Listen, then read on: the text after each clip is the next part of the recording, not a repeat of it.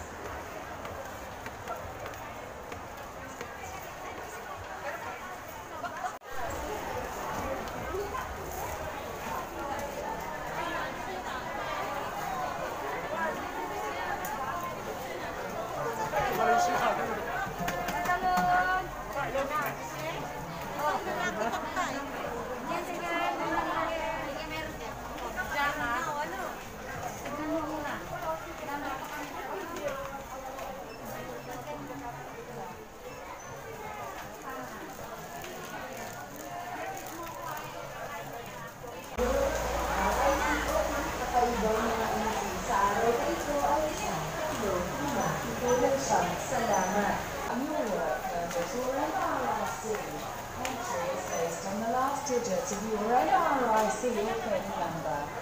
Odd numbers entry today is 1.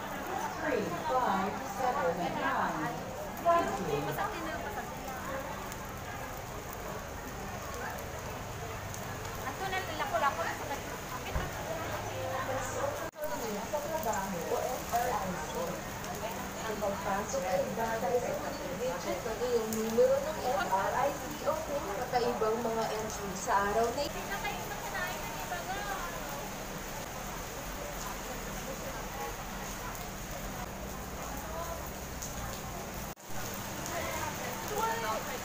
Bakit